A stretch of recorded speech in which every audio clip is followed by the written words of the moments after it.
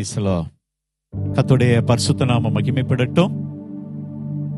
இந்த என்எல்பிபிஎஸ்ல பங்கெடுக்க வந்திருக்கின்ற குட்டீஸ் மற்றும் வாலிபர்கள் அம்மா அப்பா பெரியவங்க எல்லாருக்கும் இயேசு கிறிஸ்து நாமத்தில் நாங்கள் நன்றி வாழ்த்துக்களை தெரிவித்துக் கொள்கிறோம். இந்த மூன்றாம் நாள் நிகழ்ச்சியிலே உங்களை நாங்கள் வாழ்த்தி வரவேற்கிறோம். கழிந்த ரெண்டு நாட்கள் பிபிஎஸ் உங்களுக்கு ரொம்ப ஆசீர்வாதமா இருந்துச்சு. கேட்ட கேள்விகளுக்கெல்லாம் பதில் அனுப்பினீங்க. Action song அனுப்பினீங்க. கேள்வி அதனுடைய எல்லா காரியத்தையும் என்ன கேட்டோமோ அதுக்கு சரியாக எல்லாரும் நீங்க அனுப்பினீங்க. கத்தர் உங்களை இந்த நாட்களை நிறைவாய் ஆசீர்வதிப்பார். இந்த மூன்றாம் நாளிலும் நம்ம என்ன செய்ய போகிறோம்? இந்த நிகழ்ச்சிக்கு நம்ம கடந்து போகிறோம். ஹாய் செல்லங்களா நல்லா இருக்கீங்களா? இன்னைக்கு ஆயத்தமா இருக்கிறீங்களா? சரி ஓகே இப்போ நம்ம மூன்றாம் நாள்ல நிறைய காரியங்களை நம்ம என்ன செய்ய போகிறோம்? நம்ம அண்ணாச்சிமார் அக்காமார் நமக்கு சொல்லித் தர போறாங்க. நம்ம என்ன செய்ய போகிறோம்? ஜெபம் பண்ணி இந்த மூன்றாம் நாள் இந்த பிபிஎஸ் நம்ம ஆரம்பிக்க போறோம். சரியா? ஓகேயா? எத்தனை பேர் என்னோட கூட ஜெபம் பண்ண போறீங்க? சரி முழங்கால் படி எடுங்க பார்க்கலாம். முடிஞ்சா முழங்கால் படி எடுங்க பார்க்கலாம். நம்ம முழங்கால் படிட்டு ஏசப்பாவை நோக்கி பார்ப்போமா? சரி எல்லோரும் ஜெபம் பண்ணுவோம். ஹalleluya இயேசுவே நாங்கள் உம்மை ஸ்தோத்திரிக்கிறோம் ஆண்டவரே. ஹalleluya. தகப்பனே நாங்கள் உமக்கு நன்றி செலுத்துகிறோம் ஆண்டவரே. ஹalleluya. ஆமென். எல்லா பிள்ளைகளும் ஆண்டவரே கழிந்த ரெண்டு நாட்களிலும் எங்களோடு கூட இந்த சிறுவர் நிகழ்ச்சி மூலமாக நீர் எங்களோடு பேசினீர் ஆண்டவரே. இந்த மூன்றாம் நாளிலும் பெரிய எதிர்பார்ப்போடு உடைய சமூகத்துல வந்திருக்கிறோம் அப்பா. எங்களோடு நீர் பேச வேண்டுமே என்று சொல்லி ஹalleluya. அப்பாவை நோக்கி பார்ப்போமா? ஹalleluya. Thank you, Jesus. ஆராதனை ஆராதனை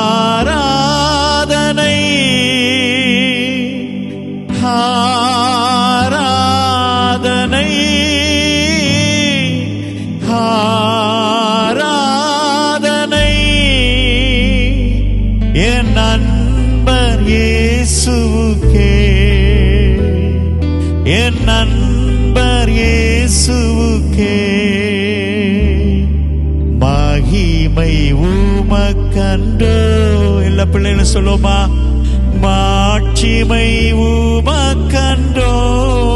சொல்லுவோமா ஒரு விசை கூட. மகிமை உமக்கன்றோ. மாட்சிமை உமக்கன்றோ.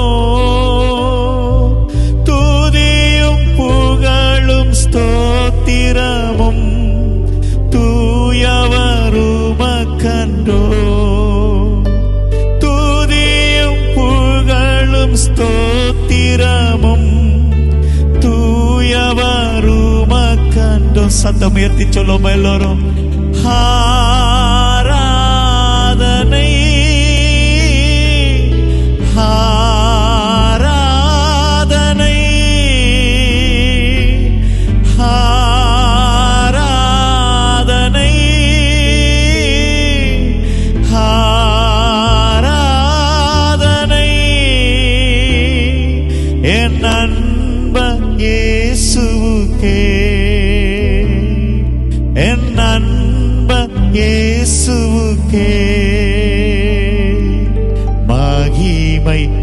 உமக்கன்றோ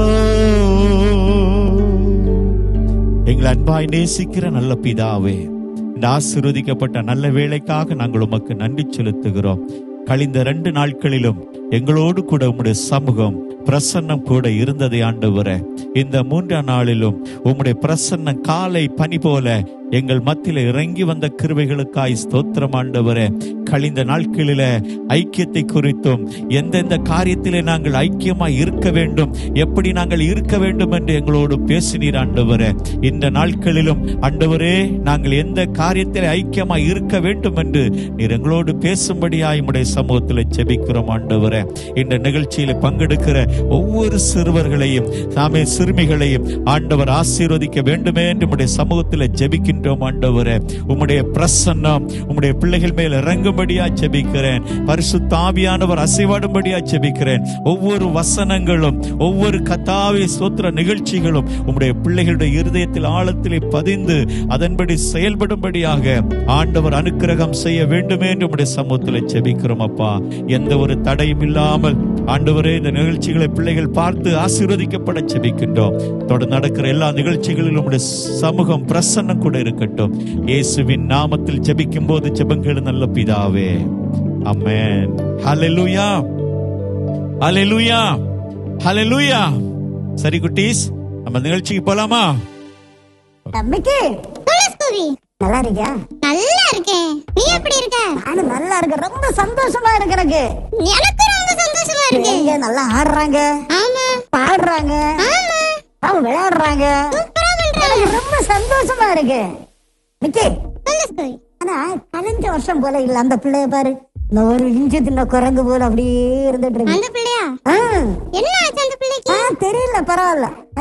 அப்போ பண்ணலாமா. வசனம் சொல்லி கொடுப்போமா? வசனம் சொல்லி கொடுத்தா? பிள்ளைங்களா இன்னைக்கு எத்தனாம் நாளு? மூணாம் நாளா? அம்மிக்கு அப்ப மூணாம் நாளுடைய விபிஎஸ் நோக்கத்தை சொல்லி கொடுப்போமா? சொல்லி கொடுப்ப ஸ்கூபி. யார கூப்பிடுறது? இன்னைக்கு நாம யார கூப்பிடலாம்? நீ சொல்லு. நம்ம அண்ணாவை கூப்பிடலாமா? என்ன அண்ணாச்சு? நம்ம டீம்லயே ஆ, சூப்பரான. அறிவாளியான ஆ. அழகான ஒரு அண்ணா இருக்காங்க. அழகான அண்ணா. ஆமா யார் அது உனக்கு தெரியலையா இன்னும்? எனக்கு தெரியாது. நான் அண்ணாவை கூப்பிடுறேன் நீ பாரு ஆ, சரியா கூப்பிடு கூப்பிடு அண்ணா சீக்கிரம் வாங்க அண்ணா. எந்த அண்ணா வராரு பாரு நீ பாரு? ஹாய் ஸ்கூபிஸ் ஆ, நல்லா இருக்குங்களா? ஆ நல்லா இருக்கேன். நீங்க எப்படி இருக்கீங்க? நல்லா இருக்கிற பார்த்தா தெரியலையா ஆ தெரியுது தெரியுது. சரி நான் இப்ப என்ன பண்ணணும்? என்ன பண்ணணும் உண்மைக்கு? என்ன? பண்ணணும்? சொல்லுங்கய்யா பிள்ளைங்களுக்கு ஆ. இன்னைக்குள்ள நோக்கமா ஆ. நோக்க வசனமா? அதுக்கான ஆக்ஷனும் சொல்லி கொடுங்க. ஆமா. ஆக்ஷனா ஆக்ஷன் ஜெயிக்க நீங்க ரெண்டு இருக்கீங்களே? ஆமா ஆக்ஷன் சரி குட்டீஸ் நம்ம இன்னைக்கு மூணாம் நாள் நோக்கம் பார்க்க போறோம். மூணாம் நோக்கம் சமுதாயத்தில் ஐக்கியம். என்னது? சமுதாயத்தில் ஐக்கியம். சமுதாயத்தில் ஐக்கியம். ஆ. என்ன படிச்சிட்டீங்களா? ஆமா. சரி இப்ப நம்ம இதுக்கு வசனம் வசனம் பார்க்க போறோம். படிக்க போறோம். படிக்க போறோமா? பார்க்க போல. சரி பார்த்தானே படிப்போம். ம். சூப்பர் அண்ணா. சரி அன்னை ஃபர்ஸ்ட் சொல்லாரேன் நான் சொல்றேன் அடுத்து நீங்க சொல்லி சொல்லுங்கண்ணா. உன்னிடத்தில் உன்னிடத்தில் நீ நீ அன்பு கூறுவது போல பிறரிடத்திலும் அன்பு அன்புக்குறையாக.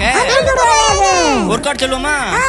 உன்னிடத்தில் நீ நீ அன்பு கூறுவது போல பிறரிடத்திலும் அன்பு அன்புக்குறையாக. மத்தேயு இருபத்தி ரெண்டு முப்பத்தி ஏழு. ஆமா நீங்க ஆக்ஷன் பண்ணீங்களா? இல்ல. நான் வசனம் சொன்னல அப்ப ஏன் ஆக்ஷன் பண்ணல? நீங்க ஆக்ஷன் பண்ண சொன்னீங்களா? சரி அப்ப நான் இங்க சொல்லி கொடுக்கேன் நீங்க ஆக்ஷன் பண்ணுங்க. சரி சரி. ஒரு- சொல்லுவோமா ஆ, உன்னிடத்தில் நீ அன்பு கூறுவது போல பிறரிடத்திலும் அன்பு அன்புக்குறாயாக மத்தேயு இருபத்தி ரெண்டு இருபத்தி ரெண்டு முப்பத்தி ஏழு சரி குட்டீஸ் படிச்சிட்டீங்களா வசனம்? அண்ணா. ஒருக்கா கூட சொல்லிட்டாங்க அண்ணா சரி சொல்றேன் உன்னிடத்தில் உன்னிடத்தில் நீ நீ அன்பு கூறுவது போல அன்புக்குறது போல பிறரிடத்திலும் பிறரிடத்திலும் அன்பு கூறாயாக. மத்தேயு மத்தேயு இருபத்தி ரெண்டு இருபத்தி ரெண்டு முப்பத்தி ஏழு முப்பத்தி ஏழு சரி ஆ சொல்லுங்க ரொம்ப நன்றி சரி ஓகே சரி, thanks. எல்லாரும் வசனம் படிச்சீங்களா? ஆக்ஷன் பண்ணீங்களா? இப்ப பாட்டு பார்க்க போமா? எல்லாரும் இப்போ இன்னொரு பாட்டு படிக்கலாமா? நிறைய பாட்டு படிச்சுட்டே இருக்கிறோம். இப்போ புதுசா இன்னொரு பாட்டு நம்ம படிக்க போறோம். எத்தனை பேர் குற்றாலம் போயிருக்கீங்க? குற்றாலத்தில் போய் குளிச்சா எல்லா வியாதியும் போகும்னு சொல்லுவாங்க. எல்லா கவலையும் மாறணும்னா ஏசப்பா தருகிற அந்த ஜீவ நீரோடையில் குளிச்சா போதும். எல்லா விதமான கவலைகளும் மாறும். ஒரு வியாதி குற்றாலத்தில் மாறலாம். அதனால் குற்றாலத்தில் குளிக்கிறது குறித்த ஒரு பாடலை பாட போகிறோம் எல்லாரும் சேர்ந்து நல்லா என்ன செய்ய போகிறோம் ஆக்ஷன் பண்ணி இந்த பாட்டை கற்றுக்கொண்டு பாட போகிறோம் சரியா? ஓகே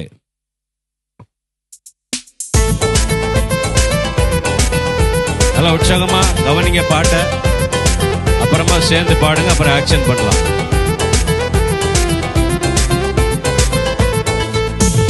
குளிக்க குளிக்க குத்தாலம் குதூகலமாமே.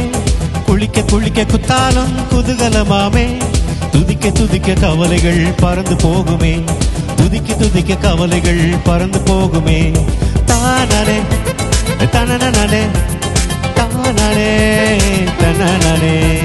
தானே தனனே தானே தனனே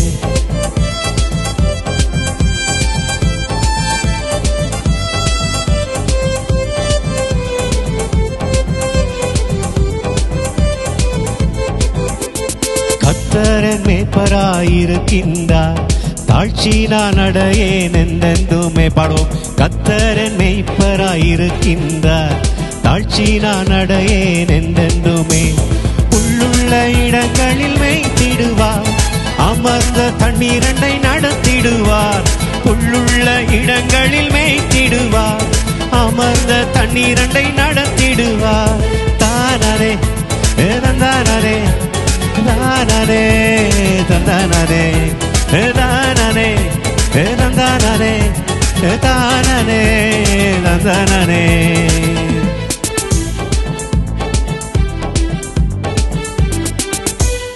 பாட்டு பிடிச்சிருக்குதா? நல்லா பாடலாமா? கத்தர் மேய்ப்பரா இருக்க நான் தாழ்ச்சி அடையேன். அவர்ணமை ஆ, ஜீவ தண்ணீருள்ள நீரோட்டு நீர் நீரண்டையில் என்ன செய்வார் கொண்டு நம்மை நடத்துவார். அதனால உற்சாகமா இப்போ நம்ம ஆக்ஷன் பார்க்க போறோம். ரெடியா இருக்கீங்களா? எல்லாரும் ஆக்ஷன் பண்ணலாமா?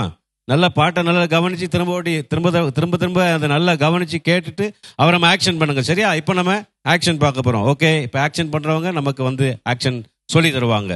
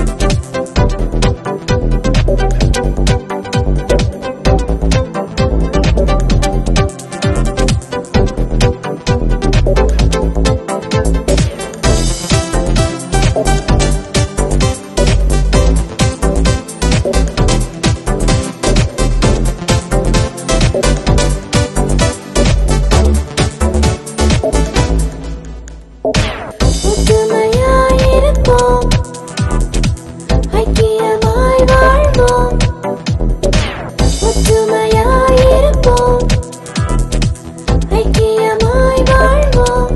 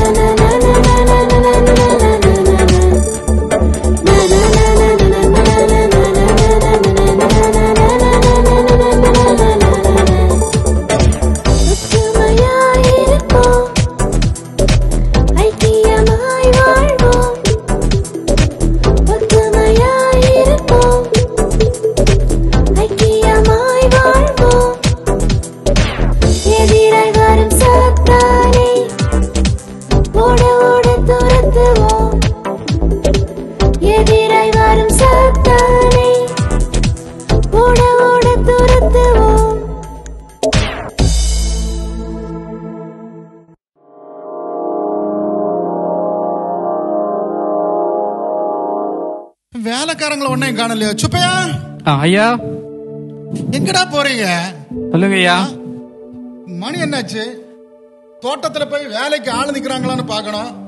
எதுவும் இல்லாம இப்படியே வீட சுத்தி சுத்தி என்னைய சுத்தி சுத்தி நிக்கிறீங்க. எங்க போறீங்க? இல்லங்க ஐயா தோட்டத்துல ஆள் விட்டுட்டுறேன் ஐயா நம்ம தென்னை தோட்டத்துல அஞ்சு பேர் நிக்கிறாங்க ஐயா வாழை. வாழை தோட்டத்துல பத்து பேர் நிக்கிறாங்க ஐயா. மொத்தம் பதினஞ்சு பேர் இன்னைக்கு வேலைக்கு நிக்கிறாங்க ஐயா சரி எல்லாரும் போய் கண்காணிச்சுட்டு வந்துரு சரியா சரிங்க சரிங்க. அவன் ராமையங்க? ஐயா ராமையா. நான் பாத்துட்டேன் வா வர சொல்லியிருந்தேன் ஐயா இப்ப வருவாங்க எல்லாம் பாத்துட்டு சீக்கிரம் வா. சரிங்க ஐயா சரிங்க ஐயா இவங்களெல்லாம் வச்சு வேலை வாங்குறதுக்கு என்ன பண்றாங்கன்னே தெரியல. ஒரு பக்கம் ஒரு பக்கமா போறான் இன்னொருத்தன் இன்னொரு பக்கமா போறான். என்னதான் வேலை நடக்குன்னு தெரியலையா?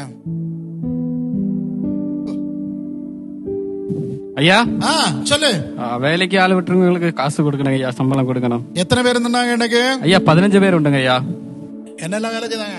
ஐயா நம்ம வாழை வயல்ல கொலை வெட்டி அதை சந்தைக்கு அனுப்பி விட்டுட்டாங்க. சரி. தென்னந்தலையில வந்து அது தேங்காய் வெட்டி அனுப்பி விட்டுட்டேன் ஐயா.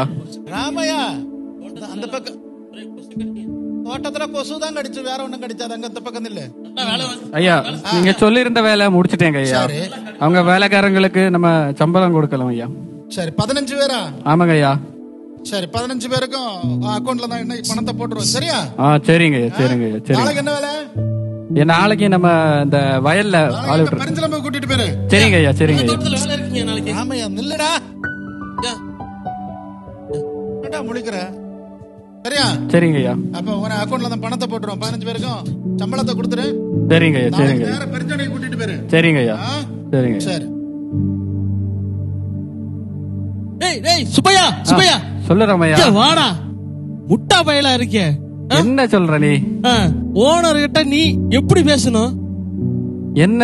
கரெக்டா பதினஞ்சாவது பேர்னு சொல்ற நீ முப்பது பேர் சொல்லிட்டு பணத்தை வாங்க கூடாதா நம்ம- ரெண்டு பேர் பாதி பாதி எடுக்கலாம்ல? நம்ம பொழைக்க தெரியாது முட்டா பயலா இருக்க. இல்ல அப்படி நம்ம உண்மையா இருக்கணும் நம்ம முதலாளிக்கு. ஏய் இவர்கிட்ட எல்லாம் உண்மையா இருக்க தேவையில்ல. நம்ம கடினமா உழைக்கிற பாரு. கொசு கட்டி எல்லாம் வாங்கிட்டு எவ்வளவு கஷ்டப்பட்டு உழைக்க இல்ல இல்ல. கொஞ்சம் நம்ம தப்பு பண்ண கூடாது தப்பு பண்ண கூடாது போட பொழைக்க தெரியாதவன்? நம்மளா இருந்திருந்தா கொஞ்சம் அந்த முதலாளி கிட்ட எப்படியா பணத்தை சுருட்டலான்னு பார்க்கலாம். பொழைக்க தெரியாதவனா இருக்கிறானே. நல்ல வேலைக்காரங்க. என்னதான் செய்யறாங்களோ சரி பரவாயில்ல. பேப்பராவது பாப்பேன் காலங்காத்தால ஐயா ஐயா ஐயா ஐயா. என்னடா ராமையா? ஐயா உங்களுக்கு ஒரு விஷயம் தெரியுமாங்க ஐயா என்ன விலையில என்ன பிரச்சனை? ஐயா சுப்பையா இருக்கானல்ல ஐயா. சுப்பையா. ஆமா அவன் நேத்துக்கு என்ன கதை தெரியுமா உங்களுக்கு? வந்தான் வேலைக்கு ஆள விட்டான். வேலை பார்த்தான் வந்தான். ஐயா இல்லைங்கய்யா. அந்த பக்கம் இல்லையா ஐயா உங்களுக்கு விஷயம் தெரியாம இருக்கீங்கய்யா. சொல்லுடா. சுப்பையா இருக்கான்ல. ஆமா. அவன் நேத்துக்கு எத்தனை பேரை வேலைக்கு விட்டான் தெரியுங்களா? பத்து பேரை விட்டான். ஐயா சும்மாங்கய்யா. அஞ்சு பேர் தான் வேலைக்கு விட்டுருக்கான். காசு தோப்புல. காசு பத்து பேருக்கு வாங்கிட்டு போய் அவன் வீட்டுக்கு கொண்டு போயிட்டாயா நீ அவன? ஆமா மழை போல அவன் நம்பிட்டு இருக்கிறீங்க ஆ, இப்ப நம்மள ஏமாத்திட்டு போயிட்டானா ஆமாயா ஏமாத்திட்டான். சரி நான் பாக்குறேன். ஆமாயா நீ போய் போயிட்டு வா. சரியா நீங்க இப்ப. ஞானமா நடங்கயா சரி நான் பாக்குறேன் போ. இந்த சுப்பைய நம்மள எவ்வளவு நாளா ஏமாத்தி இருப்பான் அவனை நம்பிட்டே நான் இருந்தேன். ஏன்னா மொத்த பொறுப்பை அவன் கையில கொடுத்தேன். எவ்வளவு ஏமாத்திருக்கான்? அஞ்சு பேரை விட்டுட்டு பத்து ரூபா பத்து பேருக்கு சம்பளத்தை வாங்கிட்டு போயிருக்கான். ஐயா?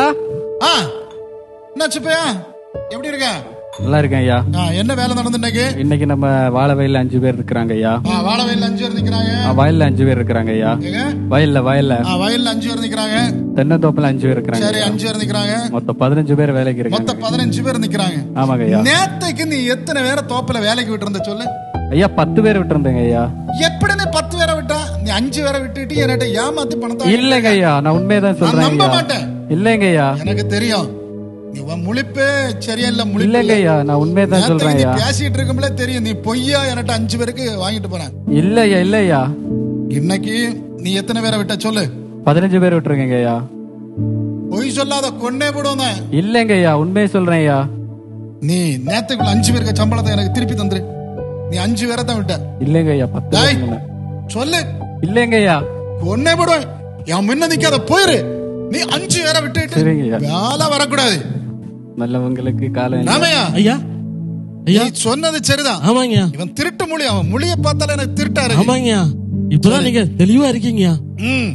ஐயா. நீ சொன்ன பிறகுதான் நான் அதை யோசிச்சு பார்த்தேன். ஆமாங்க அப்ப என் வஸ்துல என் ஆதாயத்துல எல்லாம் பாதி அவன் தான் கொண்டு போயிருக்கான். ஆமாங்கய்யா. உண்மையாவே. ராமையா ஐயா. இன்னல இருந்து சரிங்க நீ தான் முழு பொறுப்பையும் பார்க்கணும். சரிங்க சரியா? சரிங்க சரி நீ வேலைக்கு அந்த பெருஞ்சாணியில பெருஞ்சிலம்பல எல்லாம் வேலைக்கு ஆளை கொண்டு விட்டுட்டு வந்துரு. சரிங்க. எல்லாம் பாரு நீ தான் பார்க்கணும். ஆ சரிங்க. அந்த அவன் இனி அந்த விளக்குல வரக்கூடாது. ஓகே நான் பாத்துக்கிறேங்க. அவனை உள்ள விட மாட்டேங்க. ஆ. சரிங்க. சரி. போயிட்டு வரேங்க. ஆ. ஓ, எப்படியெல்லாம் பாக்குறது இந்த ராமாயண முழிப்பும் எனக்கு சரியில்லை. இந்த பையன் எவ்வளவுதான் ஏமாத்துறான்னு நம்ம பார்க்கணும். எதுக்கும்? வெளியில போய் பார்ப்போம். எத்தனை பேரை வேலைக்கு விட்டுருக்கான்னு பார்ப்போம்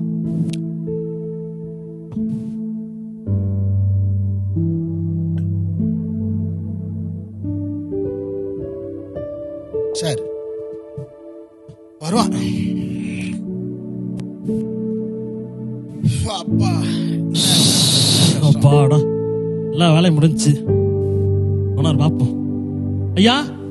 ராமையா ஐயா சொல்லு. எல்லா வேலையும் முடிச்சிட்டேங்க நீங்க சொன்ன மாதிரியே அந்த வலையில எல்லாம் ஆட்களை விட்டு நல்ல வேலை வாங்கிட்டேங்க சரி. இன்னைக்கு நிறைய பேர் வந்தாங்க எத்தனை பேர் வந்தாங்க? ஐயா நிறைய பேர் வந்தாங்க நிறையன்னா எத்தனை பேருடா வந்தாங்க? ஐயா ஒரு நாற்பது ஐம்பது பேர் இருக்குங்க எத்தனை பேருடா வந்தாங்க? நாற்பது ஐம்பதுனா தொண்ணூறு பேர்? ஐயா அங்க வயல்ல ஒரு நிறைய பேரு இங்க வாழை மரத்துல ஒரு நிறைய பேரு கரும்பு காட்டுல. நிறைய பேர் விட்டுருங்க ஐயா கரும்பு கடை இல்லடா எனக்கு. நீ யாரு இல்லடா வேலைக்கு ஐயா அங்க ஒரு காட்டு இருக்கு இல்லையா அதுல விட்டுருக்கீங்க மொத்தம் எத்தனை பேர் இன்னைக்கு நல்ல வேலை செஞ்சாங்க ஐயா தென்னை மரத்துல ஏறி அழகா நிறைய மாங்காய பறிச்சு பறிச்சு போட்டாங்க ஐயா வாழை மரத்துல ஏறி இன்னைக்கு வெட்டினாங்க பாருங்க. தேங்காயா வெட்டி வெட்டி போட்டாங்க பாரு. நிறைய நிறைய வண்டி வண்டி அனுப்பிட்டேன் சரி இல்லையா? ஐயா ஐயா. டேய் எத்தனை பேரை நீ வேலைக்கு விட்டு? அதை சொல்லு. ஐயா இன்னைக்கு முப்பத்தஞ்சு பேர் விட்டேங்க எத்தனை பேரை விட்டா? முப்பத்தஞ்சு பேருங்க தென்னையில ஏறி மாங்காய் பறிச்சாங்க வாழையில ஏறி. தேங்காய் பறிச்சாங்க. ஐயா, எத்தனை பேரை நீ வேலைக்கு விட்டு இருந்தா ஐயா. சொல்லுடா. ஐயா. சொல்லு எத்தனை பேரை வேலைக்கு விட்டு இருந்தா சொல்லு. முப்பத்தஞ்சு டேய். அதுல வந்து பார்த்தேன்டா மொத்தம் பத்து பேர் தான் வேலைக்கு நின்னாங்க. எத்தனை பேருடா வந்தாங்க? ஐயா ஐயா. டேய் ஐயா. சொல்லுடா. நீங்க பார்த்தது நீ சொல்லுடா. நீங்க பார்க்கும்போது எல்லாம் கீழே படுத்திருப்பாங்க ஐயா. ஐயா.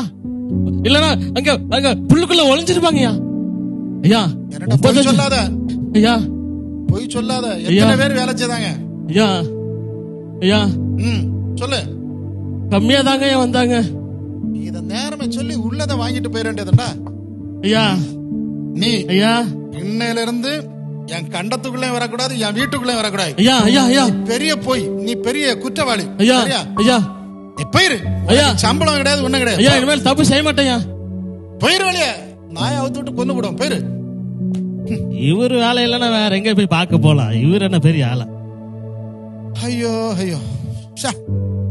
நல்ல ஒரு வேலைக்காரனை. நல்ல ஒரு வேலைக்காரனை இழந்துக்கிட்டு இந்த பயலை பார்த்து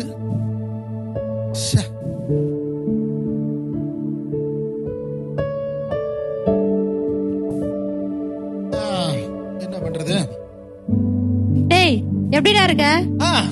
ஆ, நல்லாதான் இருக்கிறேன் ரொம்ப வயசாயிடுச்சு போலயே. என்ன பண்றது? சரி உன்கிட்ட ஒண்ணு கேட்க தான் வந்தேன். சொல்லு.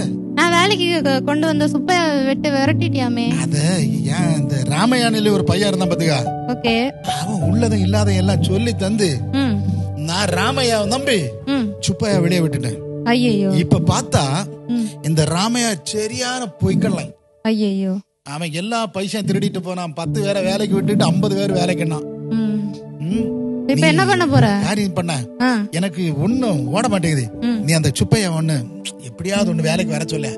அவன் ரோசக்காரன் எல்லாம் வரமாட்டான். நீ சொன்ன நடக்கு நீ ஒன்னால முடியாதது என்ன உண்டு? சரி உனக்கேடி நான் பேசி பாக்குறேன். வந்தானா வர சரி, சரியா? எப்படியாவது ஒண்ணு வர சொல்ல. இனிமே ஏதாவது ஒழுங்கா பாத்து பண்ணு. சரி சரி நான் பாத்து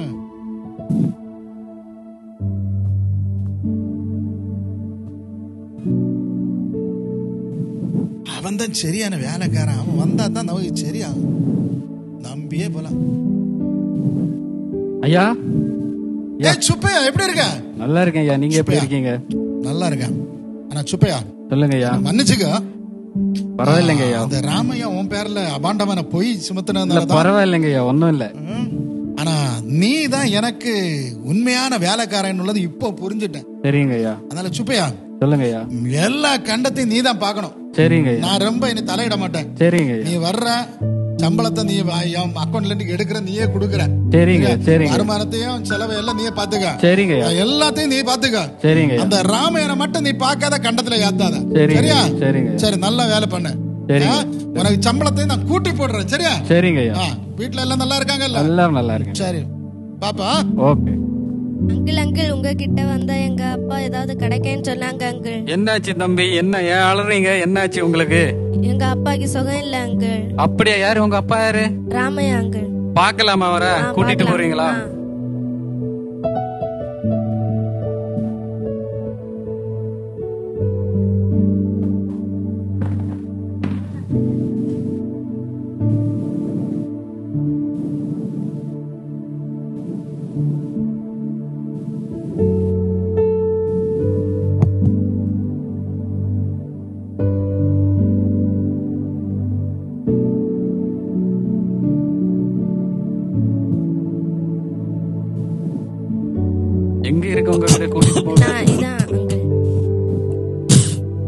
என்னாச்சு? உங்களுக்கு என்னாச்சு ராமையா? என்னாச்சு? துப்பையா வந்திருக்கேன் என்னாச்சு உங்களுக்கு?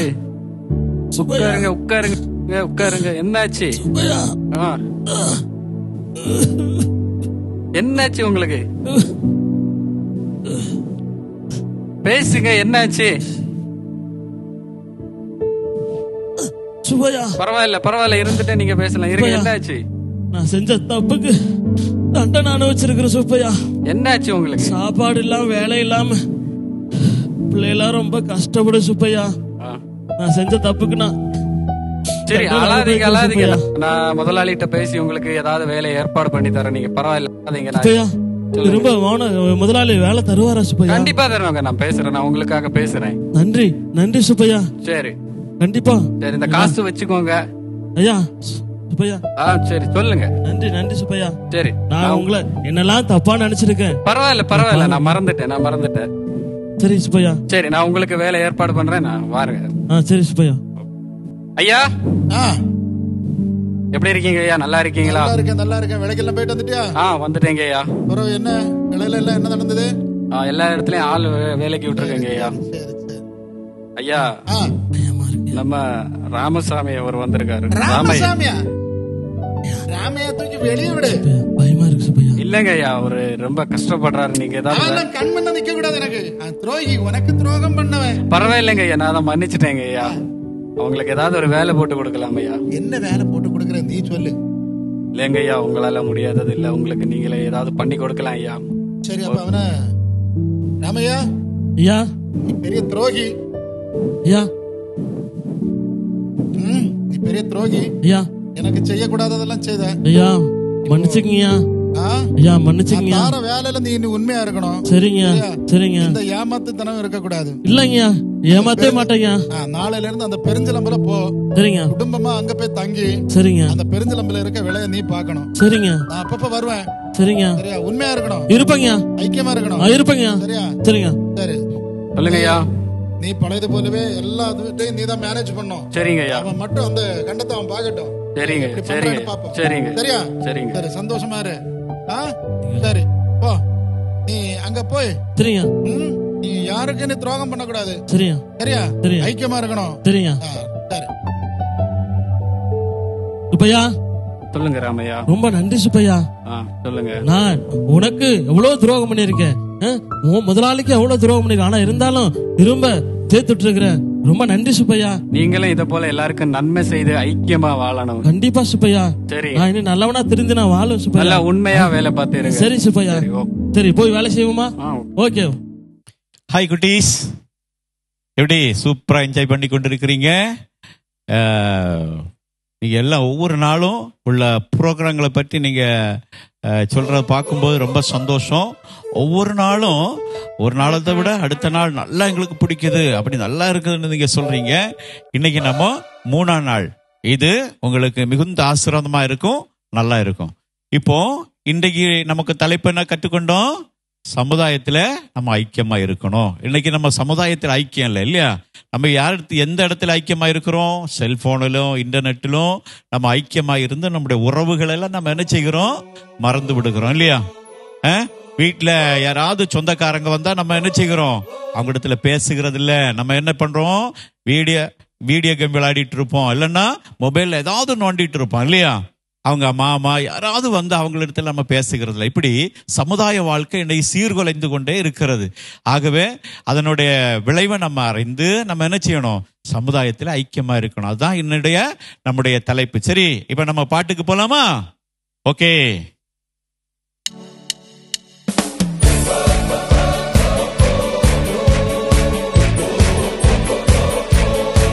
ஒரு அருமையான பாட்டு. நல்ல கவனமா கேட்டு பாடுங்க. ஹலோ ஹலோ தம்பி ஹலோ ஹலோ ஹலோ ஹலோ தங்கை ஹலோ ஹலோ ஹலோ ஹலோ தம்பி ஹலோ ஹலோ ஹலோ ஹலோ தங்கை ஹலோ ஹலோ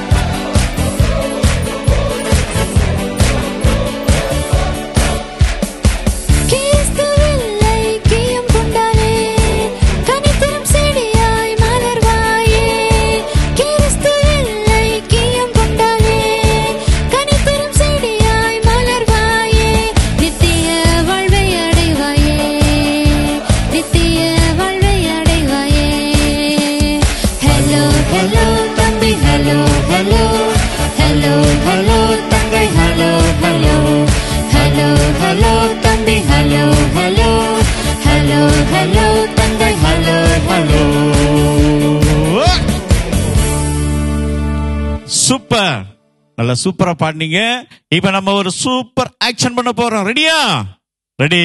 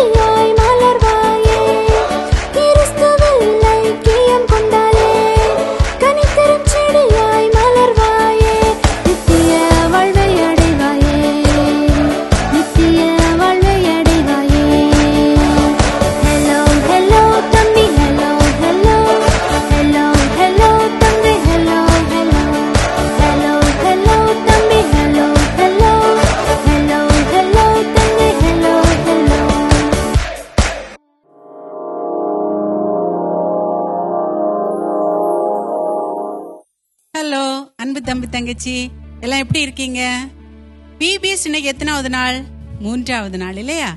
இன்னைக்கு ஒரு மிஷினரி சரித்திரம் நம்ம ஒன்று பார்க்க போறோம். ஆயிரத்தி எண்ணூற்றி எழுபதாவது ஆண்டு டிசம்பர் ஒன்பதாவது நாள் ஜான்ஸ் கடர் சோஃபியா இந்த தம்பதியினருக்கு ஆறாவது குழந்தையாக பிறந்தவர் தான் இந்த ஐடாஸ் கடர் எத்தனாவது குழந்தை? ஆறாவது குழந்தையாக பிறந்தவர் தான் இந்த ஐடாஸ் கடர் இவர் தன்னுடைய பள்ளி படிப்பை முடித்துவிட்டு நார்ஃபீல்டு என்ற கல்லூரியில் ஆங்கில இலக்கியம் படிக்கின்றார். அது மட்டுமல்ல குறிப்பாக இவருடைய தாத்தா அமெரிக்காவில் முதல் அருட்பணியாளராக பணியாற்றினார் என்பது குறிப்பிடத்தக்கது. அமெரிக்காவில் முதல் அருட்பணியாளராக பணியாற்றியது யாரா? இந்த ஐடாஸ் கடரோட தாத்தா. இன்னும் அவங்க ஐடாஸ் கடரோட சக தோழிங்க இந்த ஐடாஸ் கடரை பார்த்து நீயும் மிஷினரியா தானே போக போகிறாய்? உங்க குடும்பத்திலேயும் மிஷினரி ரத்தம் தானே ஓடுகின்றது? உன்னையும் அங்கதான் அழைத்து செல்வாங்க. அப்படின்னு சொல்லிட்டு இந்த ஐடாஸ் கடரை எல்லாரும் பேச தொடங்கினாங்க. இந்த ஐடாஸ் கடருக்கு ஒண்ணுமே சொல்ல தெரியல. அவளுக்கு அப்படியே கோபம் வருது. அவங்க முகம் வந்து அப்படியே சிவப்பாகி நோ நோ நான் வந்து மிஷினரியாக போகவே மாட்டேன்.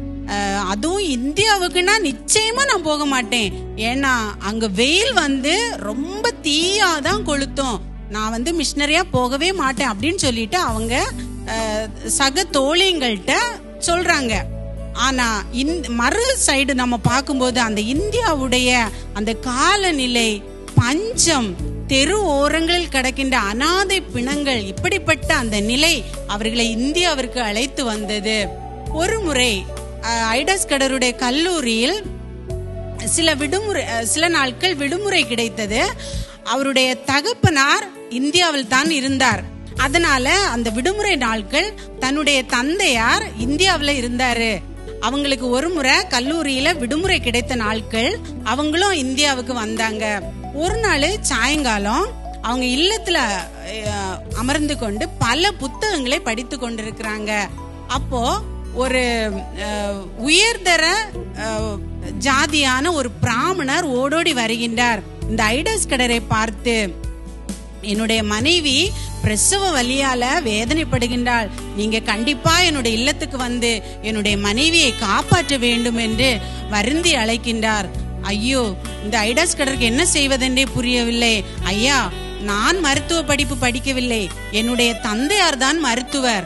அப்படின்னு அவங்கள்ட்ட சொன்னதும் ஐயோ ஒரு ஆண் மருத்துவர் வந்து என்னுடைய மனைவிக்கு பிரசவத்தை பார்ப்பதை விட என்னுடைய மனைவி மறித்து போவது எவ்வளவோ மேல் என்று சொல்லி அந்த இடத்தை விட்டு கடந்து செல்கின்றார். சிறிது நேரம் கழித்து ஒரு இந்து முதலியாரும் அந்த இடத்தில் ஓடோடி வருகின்றார். அவரும் அவருடைய மனைவி பிரசவ வலியால் வேதனைப்படுகின்றார். என்னுடைய மனைவியையும் வந்து காப்பாற்றுங்கள் என்று அந்த ஐடாஸ் கடரிடம் வருந்தி கேட்கின்றார். ஐடாஸ் கடருக்கு என்ன செய்வதென்றே புரியவில்லை. ஐயா நான் மருத்துவம் படிக்கவில்லை. என்னுடைய தந்தையார் தான் மருத்துவர் என்று அவரிடமும் பதில் கூறுகின்றார்.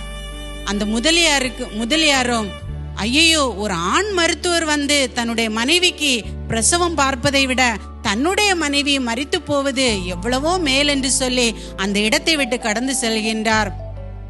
சிறிது நேரத்தில் அவருடைய மனைவி மறித்து போகிற செய்தியும் இந்த ஐடாஸ் கடரின் காதுகளில் எட்டுகிறது. ஐடாஸ் கடருக்கு என்ன செய்வதென்றே புரியவில்லை. ஓடோடி செல்கின்றார். தன்னுடைய அறையை கத அறை கதவை மூடிக்கொண்டு முகங்குப்புற விழுந்து ஆண்டோடைய சமூகத்திலே அழுகின்றார் கதறுகின்றார். ஆண்டவருடைய அழைப்பை உணர்ந்து கொள்ளுகின்றாள். உடனடியாக ஆயிரத்தி எண்ணூற்றி தொண்ணூற்றி ஐந்தில் பிலதெல்பியா மருத்துவ கல்லூரியில் இணைந்து அவர் மருத்துவ படிப்பை முடிக்கின்றார். ஆயிரத்தி தொண்ணூறாம் ஆண்டு ஜனவரியில் அவர் வேலூர் கடந்து வருகின்றார். அவர் வருவதற்கு முன்பே அவருக்கு தேவையான மருத்துவத்திற்கு தேவையான எல்லா கருவிகளையும் வாங்கி அவர் என்ன பண்ணாராம்? கப்பல்ல அனுப்பி வச்சிருக்காங்க. அது மட்டும் இல்ல சுற்றி உள்ள கிராமம் சமுதாயம் சமுதாயத்தில் உள்ள எல்லா மக்களுக்கும் அவங்க வந்து என்ன பண்றாங்களா இலவசமாக அவங்க படிப்பை முடித்துட்டு வந்தாச்சுல்ல அதனால அவங்க இலவசமா எல்லாருக்குமே அவங்க சமூக பணி செய்கிறாங்க மருத்துவம் செய்கிறாங்க இலவசமா செய்கிறாங்க அதன் பின்பு அவங்க என்ன பண்ணாங்களா? ஆயிரத்தி தொள்ளாயிரத்தி இரண்டாவது ஆண்டு நாற்பது படுக்கை வசதி கொண்ட ஒரு மருத்துவமனையை கட்டுகின்றார். ஆயிரத்தி தொள்ளாயிரத்தி ஒன்பதாவது ஆண்டு தாதியரை உருவாக்க ஸ்கூல் ஆஃப் நர்சிங் என்ற ஒரு பள்ளியை ஆரம்பிக்கின்றார். அது மட்டுமல்ல ஆயிரத்தி தொள்ளாயிரத்தி நாற்பத்தி ரெண்டாவது ஆண்டு எம்பிபிஎஸ் பட்டம் பெறுவதற்காக பெண்கள் மருத்துவக் கல்லூரியை துவக்குகின்றார். இன்னும் ஆயிரத்தி தொள்ளாயிரத்தி நாற்பத்தி ஏழாவது ஆண்டு ஆண்களும் இணைந்து படிக்க வேண்டும் என்பதற்காக அந்த கல்வி தரத்தை அவர் உயர்த்தி காட்டுகின்றார். அது மட்டுமல்ல அன்பானவர்களே அவர்கள் அந்த சமூகத்தில் உள்ள ஏழை எளிய மாணவ மாணவிகளுக்கு இலவசமாக மருத்துவ பணிகளை செய்ய முதலுரிமை கொடுக்கின்றார். இதனால அந்த சமூகத்தை சார்ந்த அத்தனை மக்களும் அன்போடு அவர்களை அஹ், ஆன்டி ஐடா என்று அழைக்கின்றனர். இறுதியில் அவர் ஆயிரத்தி தொள்ளாயிரத்தி அறுபதாவது ஆண்டு ஐந்தாவது மாதம் இருபத்தி நான்காம் தேதி அவர் இறைவனடி சேர்கின்றார். ஆம் அன்பு தம்பி தங்கச்சி.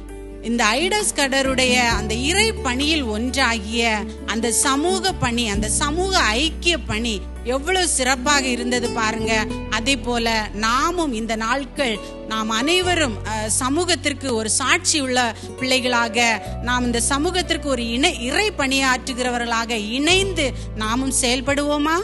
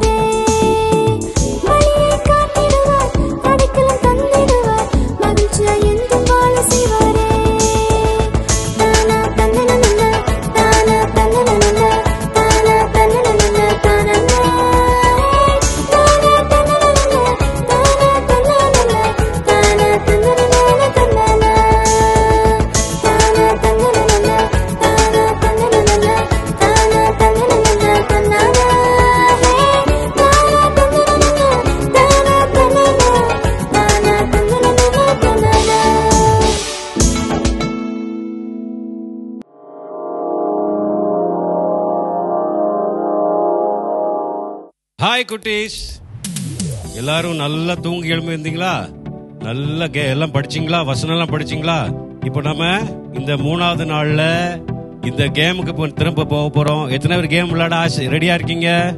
ரெடியா இருக்கீங்களா? சரி இப்போ வந்து நம்ம எல்லாரும் ரன்னிங் ரேஸ் வச்சிருக்கோம். அப்படிதானே? நிறைய ச- நிறைய ஸ்கூல்லலாம் ரன்னிங் ரேஸ் ஹண்ட்ரட் மீட்டர்ஸ் 50 மீட்டர்ஸ்லாம் வச்சிருப்பாங்க. அதே மாதிரி நம்ம இங்கேயும் ஒரு ரன்னிங் ரேஸ் வைக்க போறோம். சரியா? நேத்து விளையாண்ட கேம் பிடிச்சிருந்துச்சா உங்களுக்கு? இன்னைக்கு ஒரு ரன்னிங் ரேஸ் எப்படின்னா அந்த ரன்னிங் ரேஸ்ல ஒரு பிரச்சனை இருக்கு. என்னன்னா எல்லாரும் சும்மா இப்படி காலை வச்சு ஓட முடியாது. ஆனா அதுல ஒரு பிரச்சனை இருக்கு. பலூன் வச்சு ஓட போறாங்க. பலூன் வச்சு ஓடி யார் ஃபர்ஸ்ட் வர போறான்னு பார்க்க போறோம். ரெடியா விளையாடலாமா? எல்லாரும் விளாட ரெடியா இருக்கீங்களா? இதுக்கு தேவை பலூன் தான். நம்ம எல்லாரும் பலூனை வச்சு இப்போ அழகா அந்த ரேஸ் செய்ய போறோம்? பண்ண போறோம். ரெடியா இப்போ நம்ம மத்தியில அந்த நாலு பேர் வந்திருக்காங்க. ரெடியா நில்லுங்க. லைன்ல எங்க வாங்க இப்படி. ஆ அங்க நில்லுங்க நில்லுங்க அங்க நில்லுங்க நில்லுங்க. இப்படி ஆ லைன்ல நில்லுங்க. லைன்ல எல்லாம். வா நீங்க வாங்க. ஆ இப்படி வாங்க சீக்கிரம். ஆ. இப்போ பார்த்தீங்கன்னா இவங்க வந்து இங்க வந்துட்டு இந்த லைனை டச் பண்ணிட்டு திரும்ப அங்க ஃபர்ஸ்ட் யார் இந்த லைனுக்கு வராங்களோ அவங்க தான் ஃபர்ஸ்ட் சரியா? இப்போ நம்ம பார்க்க போகிற கேம் எல்லாம் ரெடியா ரெடி இந்த லைன்ல லைன் லைன்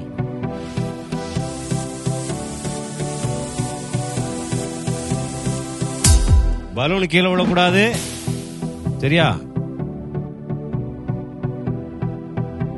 ரெடியா? நீங்க இங்க வந்துட்டு திரும்ப அங்க வரணும். ரெடியா? அங்க தள்ளி தள்ளி. லைன் லைன் லைன் ஆ த்ரீ டூ ஒன் ஸ்டார்ட் சொன்னோடனே இவங்க கிளம்புவாங்க. சரியா? த்ரீ டூ ஒன் ஸ்டார்ட் இங்க வந்துட்டு ஏப்பா? ஏப்பா? அண்ணா போச்சு. ஒரே ஒரே ஒருத்தர் தான் ரேஸ்ல ஜெயிச்சிருக்காரு. வேற ஒரே ஒருத்தர் தான் ஜெயிச்சிருக்கு யார் ஜெயிச்சா? ரூபன் ஜெயிச்சிருக்காரு. அப்படியா? நீ செகண்டா ரைட்டு பார்த்தீங்களா இவ்வளோ ஸ்பீடில் ஓடிட்டு ஓடி போயிட்டாங்க. சிலர் பார்த்தீங்கன்னா எல்லா பலூனும் கீழே கிடக்கு. அப்போ அதுக்கு அர்த்தம் என்னன்னா கவனம் இல்லை. விளையாட்டில் என்ன இல்லை? கவனம் இல்லை. சரியா? ஓட்ட அதாவது நம்ம க- என்ன செய்யணும்? பலூனையும் கேர்ஃபுல்லாக வச்சுருக்கணும். நடக்கிறதும் என்ன செய்யணும்? இப்படி அழகாக நடக்கணும். நடந்து பொறுமையாக கரெக்டாக விளாண்டா பலூன் என்ன செய்யாது? கீழே விடாது அதை மாதிரி நம்ம வாழ்க்கையில் வரமழைப்பின் பந்தய பொருளுக்காக லக்கை நோக்கி ஓடுகிறேன் ஓடும்போது நம்ம கூட இருக்கிறதெல்லாம் கவனமா என்ன செஞ்சுக்கணும் வச்சுக்கணும். சரியா? நம்ம குடும்பத்தை ஆதாயப்படுத்தி கொண்டு போகணும். நம்ம சபையில் உள்ளவங்களை ஆதாய ஃப்ரெண்ட்ஸ் ஆதாயப்படுத்தி கொண்டு போகணும். யாரையும் விட்டுட்டு போகக்கூடாது எல்லாரையும் நம்ம என்ன செய்யணும்? அழகாக கூட்டிட்டு ஆண்டவராக இயேசு இயேசு கிறிஸ்தனுடைய நித்திய ஜீவனை பெற்றுக்கொள்ள நம்ம சுதந்திரத்துக்குள்ள ரொம்ப கவனமா ஜாக்கிரதையா கண்ணு கருத்துமா ஓடணும். புரிஞ்சுதா? இதே மாதிரி கேம் நீங்க என்ன செய்யுங்க? வீட்டில் செய்யுங்க. இந்த நாளை கத்தர் ஆஸ்வதிப்பாரு காட் பிளஸ் யூ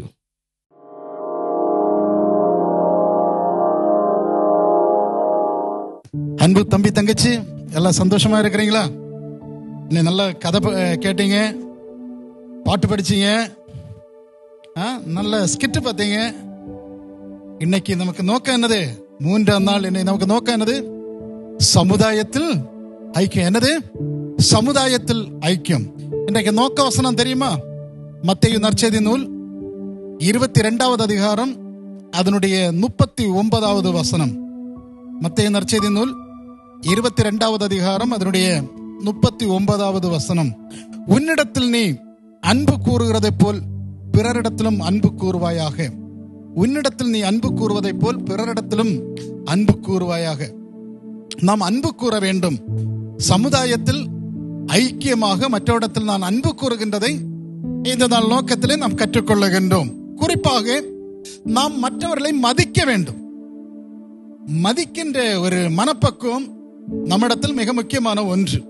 மற்றவர்களை நம்மை போல் நாம் மதிக்கின்றவர்களாக இருக்க வேண்டும் கனப்படுத்த வேண்டும். இது தேவன் நமக்கு கற்றுத்தருகின்றார். எனவே சமுதாயத்தில் ஐக்கியம் நல்ல ஒரு தலையங்கத்தை நமக்கு இந்த நாள் கொடுக்கப்பட்டிருக்கின்றது. சமுதாயத்தில் ஐக்கியமாக இருக்க வேண்டும். ஆயிரத்தி தொள்ளாயிரத்தி எண்பத்தி ஒன்றாவது ஆண்டு ஒரிசா மாநிலத்தில் கிரகாம் ஸ்டெயின்ஸ் என்று சொல்லப்படுகின்ற ஒரு மிஷனரி ஆஸ்திரேலியா தேசத்திலிருந்து ஒரிசாவிலே வந்து தொழுநோயாளிகள் மத்தியிலே அவர் ஊழியம் செய்து கொண்டிருந்தார். ஆயிரத்தி தொள்ளாயிரத்தி எண்பத்தி மூன்றாவது ஆண்டு ஆகஸ்ட் ஆறாம் தேதி அவர் தன்னுடைய மனைவியாக கிளாடிஸ் என்று சொல்லப்படுகின்ற ம- தன்னுடைய மனைவியை அவர் கண்டு கொள்ளுகின்றார் ஒரிசா மாநிலத்திலே தொழு நோயாளிகள் மத்தியிலே மக்களால் ஒதுக்கப்பட்ட நிலைமை தெரியும். தொழுநோயா தொழுநோயாளிகள் என்றால் யாரும் அருகாமையிலே வரவிட மாட்டார்கள். அவர்களை ஒதுக்கி வைப்பார்கள். ஏனென்றால் அவர்களுடைய கரங்கள் எல்லாம் நாறிக்கொண்டிருக்கும். அவர்களுடைய உடம்புகள் எல்லாம் நாறிக்கொண்டிருக்கும். புண்களாக இருக்கும். எனவே அந்த மக்கள் எல்லாம் ஒதுக்கி வைப்பார்கள். ஒதுக்கி வைக்கப்பட்டிருக்கின்ற அந்த சமுதாயத்திலே ஒதுக்கி வைக்கப்பட்டிருந்த அந்த தொழில்நோய்கள் தொழில்நோயாளிகள் மத்தியிலே கிரகாம் ஸ்டெயின்ஸும் அவருடைய மனைவியும் சேர்ந்து தன்னுடைய ஊழியத்தை செய்து கொண்டிருந்தார்கள். பல வருடங்களுக்கு பிறகு அவர்களுக்கு மூன்று பிள்ளைகள் பிறக்கின்றது. மூன்று பிள்ளைகளும் இவர்கள் இரண்டு பேருமாக தன்னுடைய இறைப்பணிய தொழில் தொழில்நோயாளிகள் மத்தியிலே ஊழியம் செய்து கொண்டிருந்தார்கள். ஆயிரத்தி தொள்ளாயிரத்தி தொண்ணூற்றி ஒன்பதாவது ஆண்டு ஜனவரி இருபத்தி மூன்றாம் தேதி அதிகாலையிலே கிரகாம் ஸ்டெயின்ஸும் தன்னுடைய இரண்டு பிள்ளைகளும் தன்னுடைய ஊழியத்தை முடித்து அந்த காட்டுப்பகுதியாக வந்து இரவிலே அந்த தன்னுடைய வாகனத்திலே படுத்து நித்திரை செய்து கொண்டிருந்த நேரத்திலே பல மக்கள் கிரகாம் ஸ்டெயின்ஸின் தன்னுடைய இரண்டு பிள்ளைகளையும் அந்த வாகனத்தில் வைத்து தீயிட்டு கொளுத்தினதை நமக்கு எல்லாருக்கும் தெரியும். சமுதாயத்திலே ஒதுக்கி வைக்கப்பட்டிருந்த மக்கள் மத்தியிலே ஒரு ஐக்கியத்தை உருவாக்க வேண்டும் என்று சொல்லி தன்னுடைய இறைப்பணியை அவர்கள் மத்தியிலே செய்து கொண்டிருந்தார். இன்றைக்கு நம்முடைய வாழ்க்கையிலும் நாம் செய்ய வேண்டியது ஒதுக்கப்பட்டு வைக்கப்பட்டிருக்கின்ற சமுதாயத்தில் இருக்கின்ற ஒவ்வொரு மக்கள் மத்தியிலும் ஐக்கியத்தை உருவாக்குகின்றவனாக இருக்க வேண்டும். யோவான் நற்செய்தி நூல் அதனுடைய நான்காவது அதிகாரத்திலே நாம் பார்க்கும் பொழுது அதனுடைய இருபத்தி எட்டாவது வசனம் இருபத்தி ஒன்பதாவது வசனத்தை நாம் பார்க்கும் பொழுது அங்கே சமாரியா பெண்மணியை குறித்து சொல்லப்படுகின்றது.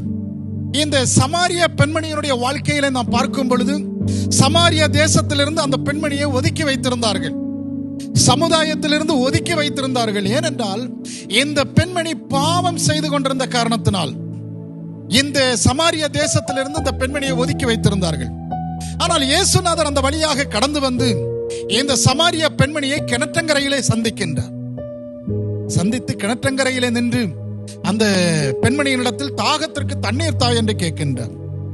இங்கே சமாரிய பெண்மணி அந்த இருபத்தி எட்டாவது வசனத்திலே நாம் பார்க்கும் பொழுது அப்பொழுது அந்த ஸ்திரீ அந்த குடத்தை வைத்துவிட்டு ஊருக்குள் போய் ஜனங்களை நோக்கி நான் செய்தது எல்லாவற்றையும் ஒரு மனிதன் எனக்கு சொன்னார் அவரை வந்து பாருங்கள் என்று சொல்லுகின்றார்.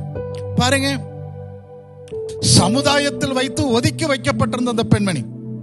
ஆனால் இயேசுநாதரால் எப்பொழுது தொடப்படுகின்றார்களோ உடனடியாக அந்த பெண்மணி யார் ஒதுக்கி வைத்தார்களோ அந்த தேசத்திற்குள் கடந்து செல்லுகின்றார்.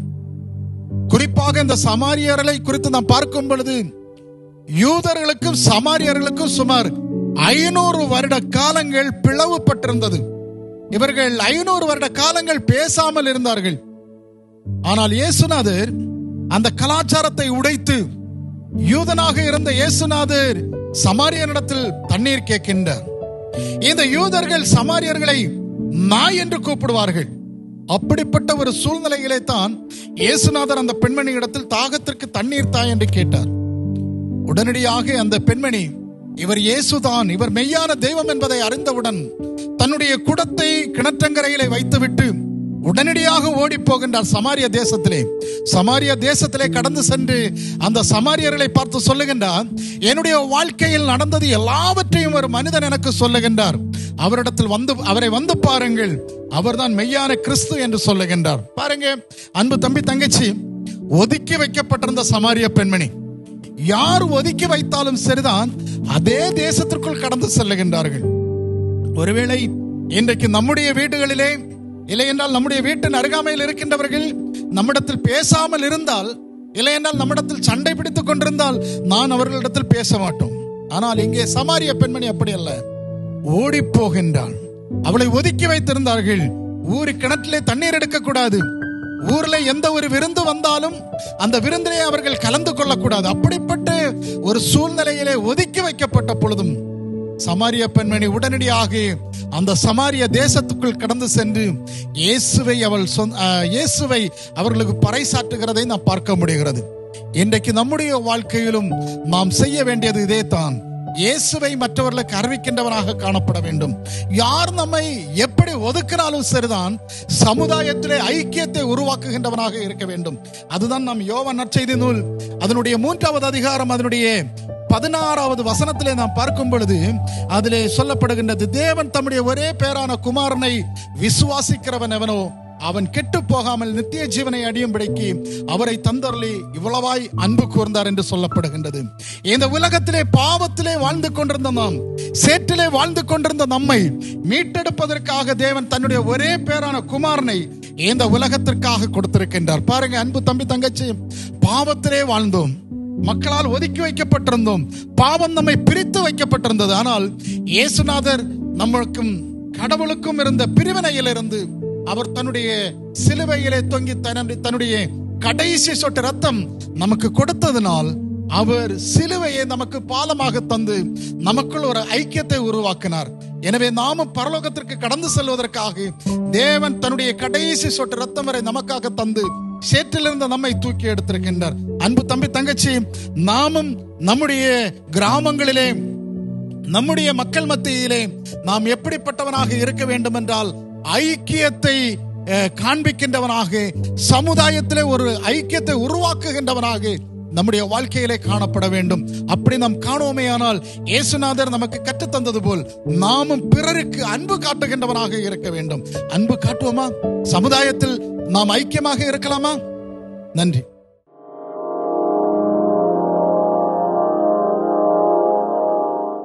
ஹலோ ஃப்ரெண்ட்ஸ் ரெண்டு நாளாக நீங்கள் சூப்பராக எங்களுக்கு டான்ஸ் ஆக்ஷன்ஸ்லாம் பண்ணியிருக்கீங்க அதே மாதிரி இன்னைக்கு நான் உங்ககிட்ட ஒரு அஞ்சு கொஸ்டின் கேட்க போகிறேன் அதுக்கு நீங்கள் ஆன்சர் பண்ணுங்கள் முதலாவது வந்து தேர்ட் டே மூன்றாவது நாள் நோக்கம் அண்ட் நோக்க வசனம் எங்களுக்கு சொல்லி அனுப்புங்க.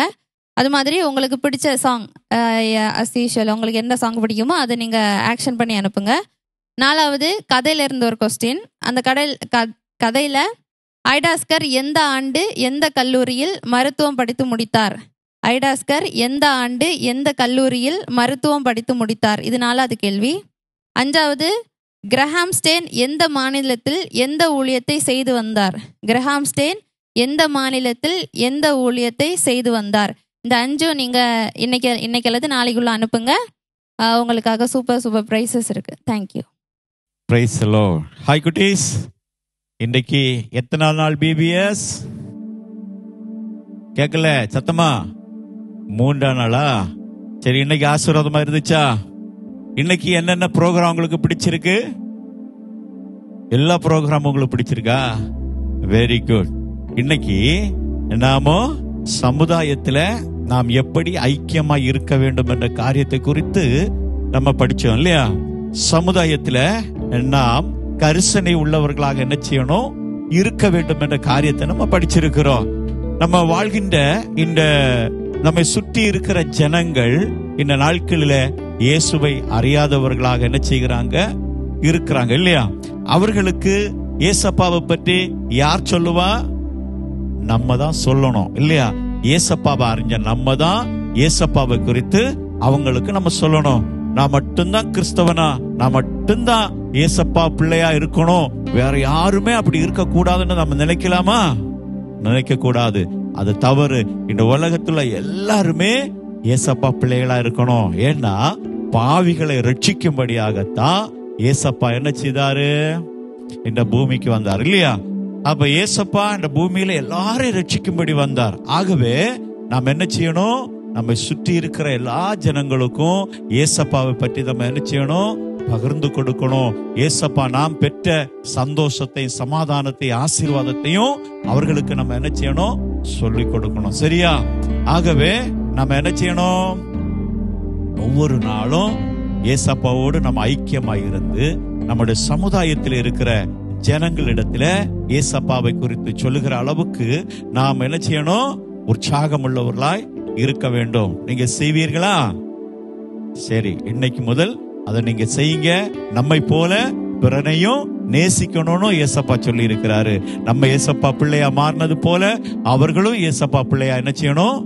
மாறணும். இப்ப நம்ம ஜெபம் பண்ணுவோமா? இருக்கிற இடங்களில முழங்கால் படியிட்டு ஏசப்பா கருத்துல உங்களை ஒப்பு கொடுங்க. ஏசப்பா சமுதாயத்துல பெரியவர்களாக உங்களை மாற்றுவாரு. சமுதாயத்தை உருவாக்கக்கூடிய ஒரு சிற்பியாக ஆண்டோருனை உன்னை வணைந்து கொள்வார். இந்த வேளையில நீ ஒப்பு கொடுத்தேன்னு சொன்னா ஆண்டவர் அதற்கான கிருபையும் பலனை ஞானத்தையும் உனக்கு தந்து ஆண்டோர்னை அவருடைய கரத்தில் உன்னை என்ன செய்வாரு? பயன்படுத்துவார். ஜெவம் பண்ணுவோமா? ஏசப்பா கரத்துல நீ பயன்பட போகிறாய். சரி ஜோ பண்ணோமா பிரைஸ் சொல்லோ அப்பாவுடைய கருத்துல நம்ம ஒப்பு கொடுப்போம். அப்பா நம்முடைய வாழ்க்கையில ஒரு அந்த கிருபையை தரட்டும். சமுதாயத்திலே நாம் ஐக்கியமா இருக்க சமுதாயத்தில் ஜனங்களுக்கு ஏசப்பாவை குறித்து சொல்லும்படியாக ஆமே நமக்கு ஆண்டவர் கிருபை தரும்படியாக ஒப்பு கொடுப்போம் ஹalleluya thank you jesus. இருண்டதோர் வாழ்வு. இன்னமும் வாழ்வோ இனியாவதுவும் திருமுகம் காண இருண்டதோர் வாழ்வு. இன்னமும் வாழ்வோ இனியாவது திருமுகம் காண நாதாவும் ஸ்நேகம் பெருகட்டும் என்னில். நாதாவும் சிநேகம் பெருகட்டும் என்னில் என்னை காணுவோ உம்மை காணட்டும் கல்வாரி சிநேகம் கரைத்திடும் என்னை கல்மனம் மாறும் கரைந்தோட செய்யும் கல்வாரி சிநேகம். பாப்பாவை பார்த்து சொல்லுவோம் ஆண்டவரை இருண்டதோர் வாழ்வு வாழக்கூடிய எங்க சமுதாயம் இந்த நாட்களில வெளித்தெழும்ப வேண்டும் அப்பா. உம்முடைய திருமுகத்தை பார்க்க வேண்டும் ஆண்டவரே. அதற்காக என்னை ஒரு கருவியாக பயன்படுத்துங்கப்பா என்று சொல்லி அப்பாவின் கரத்தில் அம்மை ஒப்பு கொடுப்போமா? ஹalleluya அன்பு தகப்பனே இந்த நாளிலும் ஆண்டவரே சமுதாயத்திலே நாங்கள் எப்படி ஐக்கியமாய் இருக்க வேண்டும்? அதற்காக நாங்கள் ஐக்கியமாய் இருக்க வேண்டும் என்ற காரியத்தை குறித்து இந்த நாளில் எங்களோடு நீர் பேசினீரே. நாங்கள் உமக்கு நன்றி செலுத்துகிறோம் ஆண்டவரே. இந்த நாளில ஆண்டவரே நாங்கள் கற்றுக்கொண்ட பாடத்தின்படியே வசனங்கள் படியே கத்தாவே எங்கள் வாழ்க்கையை அமைத்து இந்த சமுதாயத்தை நாங்கள் சீர்படுத்த நல்வழிப்படுத்த எங்கள் ஒவ்வொருவருக்கும் கத்தர் கிருப தர வேண்டுமே என்று உடைய சமூகத்தில் செபிக்கிறோம். இந்த நாளிலும் ஆண்டவரே சோத்திரம் சிறு பிள்ளைகளை வாலிபர்களை ஒவ்வொரு குடும்பத்தாரையும் ஆண்டவர் இந்த நாட்களை பாதுகாத்துக் கொள்ள வேண்டுமே. இந்த கொரோனா நோய் தொற்றுகள் இருந்து எல்லாம் ஆண்டவரே உம்முடைய பிள்ளைகளை நீர் பாதுகாத்துக் கொள்ளும் வாதை உன் கூடாரத்தை அணுகாது என்று சொன்ன வண்ணம் ஆண்டவர் பாதுகாத்து ஆசீர்வதிக்க வேண்டுமே என்று செபிக்கிறேன் உமக்கென்று எழும்பி பிரச- பிரகாசிக்க உதவி செய்யும் சமுதாயத்தின் சிற்பிகளாய் அண்டவரே சோத்திர சபையை கட்டுகிறவர்களாய் அண்டவரே உம்முடைய நாமத்தை சொல்லுகிறவர்களாய் ஒவ்வொரு பிள்ளைகளையும் கத்தர் ஆசீர்வதியும். இயேசுவின் நாமத்தில் ஜெபிக்கும் போது ஜபங்கள் நல்ல பிதாவே. ஆமே என் ஆத்துமாவே கத்தரை ஸ்தோத்திரி. என் முழு உள்ளமே பரிசுத்த நாமத்தை ஸ்தோத்திரி. என் ஆத்துமாவே கத்தரை ஸ்தோத்திரி. கத்தர் செய்ய சகல பாருங்களே மறவாதே. ஆமே நம்முடைய கத்தரா இயேசு கிறிஸ்துவின் கிருவையும் பிதாவாகி தேவனுடைய அன்பும் பரிசு தாவியுடைய ஐக்கியமும் காவலும் நாம் அனைவரோடு கூட இன்னும் என்றைக்கும் இருப்பதாக. ஆமென். அலே அல்லேலூயா ஹalleluya. கத்தர் உங்களை ஆசிர்வதிப்பாராக. நாளைக்கு இதே வேளையில நம்ம பார்க்கலாம். சரியா? ஓகே